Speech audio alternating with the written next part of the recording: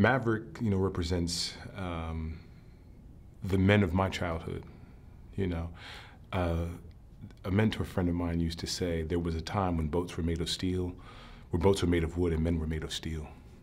And so I think that uh, Maverick harkens back to that time. What I love about Mav is that he's honest. You know, he doesn't sugarcoat things.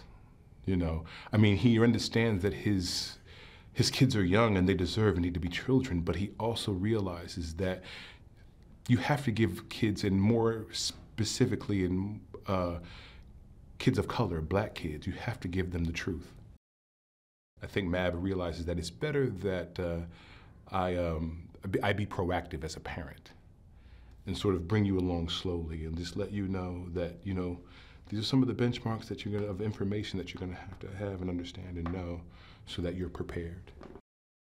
You know, strong fathers do exist um, in this country and in this world. And again, more specifically, strong black fathers do exist. I know them. Um, and so it's not often seen on screen.